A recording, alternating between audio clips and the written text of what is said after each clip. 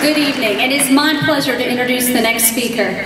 This young lady has one of the most impressive resumes that I've ever seen for a high school senior in my 17 years of education. She's president of the Beta Club, vice president of the National Honor Society, captain of the cross country team and the soccer teams. She's a member of the Key Club, Wind Ensemble, Jazz Band, Granbury United Methodist Church.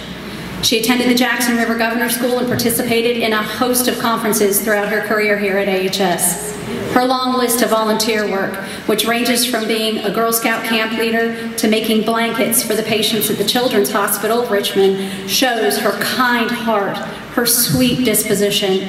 AHS will miss this young lady's glowing smile and optimistic personality in the hallways. Please welcome your 2018 valedictorian, Margaret Rose Donnan.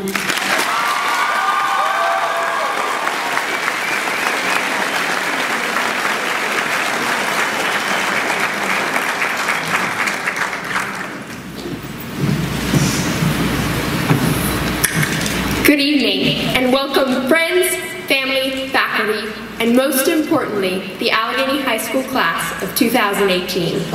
It is an honor to speak to you all on this special day. In preparation for this speech, I thought it would be a good idea to get some thoughts and advice from a very knowledgeable group of people, kindergartners. I asked them versions of two questions that I, and I am sure many of my fellow graduates, have been asked countless times over the past few weeks. Through my first question to the kindergartners, what do you want to be when you grow up? I met six future teachers. One student specifically said that she wanted to be a space teacher. Three future veterinarians, two future police officers, two future nurses, and an abundance of others, ranging from a future basketball player to a future alligator hunter.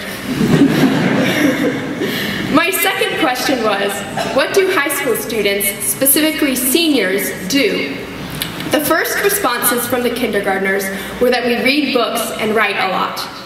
It is hard to believe that 13 years ago, we were these kindergartners, learning the alphabet and hearing stories from our teachers. Now, we are the ones writing these stories, and our class includes a group of published authors. The kindergartners also said that we play sports and play music. Our class has many hardworking and talented athletes and musicians with an impressive list of both group and individual accomplishments. We also have many successful club members, forensics team champions, and academic team whizzes whose time and talents have strengthened both our class and our school community.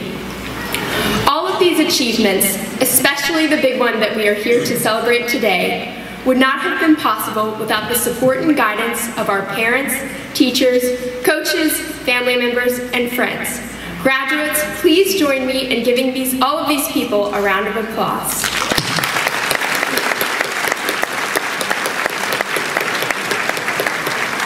Thank you for all that you have done for us. My personal achievements and journey through life and school would not have been possible without so many wonderful people. I would like to start by thanking my favorite teachers for inspiring my love of learning and my coaches for their dedication and encouragement. Thank you to my teammates on both the cross country and soccer teams for many seasons filled with lots of fun and laughter. Thank you to all of the band program for adding the joy of music to the end of my school days. Thank you to my church family for making sure that my week starts with friendly, smiling faces. And thank you to my grandparents, aunts, uncles, and cousins, many of whom are in the audience today, for a lifetime of love and support. Thank you to all my friends from Evansville, Indiana, to Covington, Virginia, to Winston-Salem, North Carolina, for enriching so many moments of my life. Kelly, Crea, Michaela, and Madison, thank you for making every day of high school better. From lots of movies to lots of classwork, we have shared every part of high school together, and I cannot imagine what I would do without you guys. Thank you to my brother, who makes sure that my life is never dull through his intellect, sense of justice, and comedic nature. Thank you to my sister, who inspires me on a daily basis through her creativity and compassion.